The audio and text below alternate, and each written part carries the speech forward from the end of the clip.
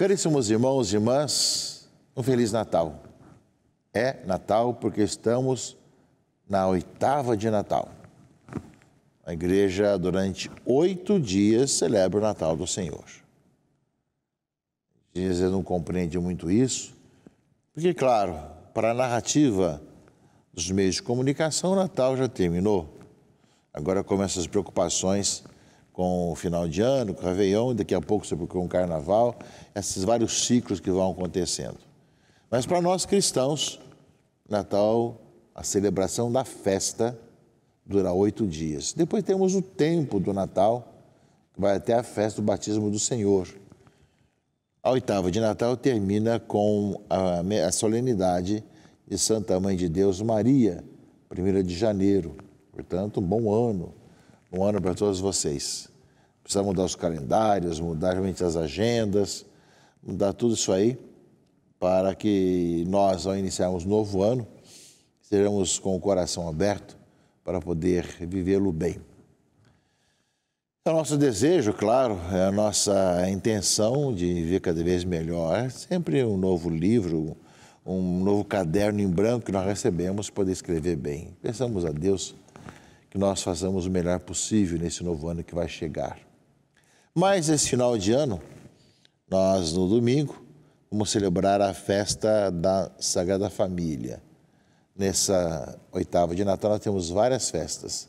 Santo Estevão, hoje São João Evangelista, apóstolo evangelista, depois temos Santos Inocentes, e temos durante o domingo, ou no dia 30, quando não tem domingo, a Sagrada Família. Portanto, o próximo final de semana, Sagrada Família, mas que ao celebrar a Sagrada Família, a liturgia nos fala da família humana, da família cristã, da família de Deus, em que nós somos chamados cada vez mais a pedir ao Senhor que nos ajude a semelhança da Sagrada Família, temos Cristo no centro da nossa vida.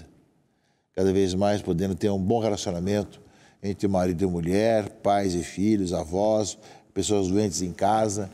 Como vão recordar bem claro para nós a liturgia da Sagrada Família.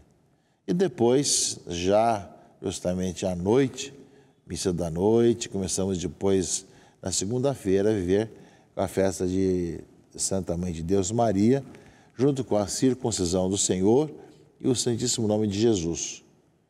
Dia 1 de janeiro também é o Dia Mundial da Paz, um dia criado pelo Papa Paulo VI, São Paulo VI, e cada ano tem um tema. Nesse ano será sobre a inteligência artificial meio de tantas questões hoje técnicas e artificiais, como viver a nossa humanidade, sermos humanos no meio disso tudo. Eis aí justamente, meus irmãos, os desafios, tudo isso. Aliás, a inteligência artificial, além de ser o tema do Dia Mundial da Paz, é também o tema do Dia Mundial das Comunicações Sociais. No dia 29 de setembro, Dia dos Arcanjos, foi anunciado, será publicado o texto né, sobre esse tema do Dia das Comunicações Sociais 24 de janeiro, e depois celebrado na Ascensão do Senhor.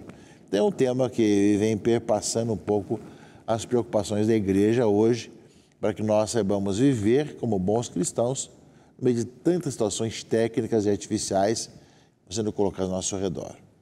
Mas eu desejo a você que nos sintoniza, que nos acessa, agradeço a todos os técnicos dos estúdios da Rede Vida, também aqueles que gravam aqui nossa programação, aqui no Rio de Janeiro, que nós possamos, agradecendo o ano que termina, termos um ano cheio da graça de Deus naquele que vai iniciar.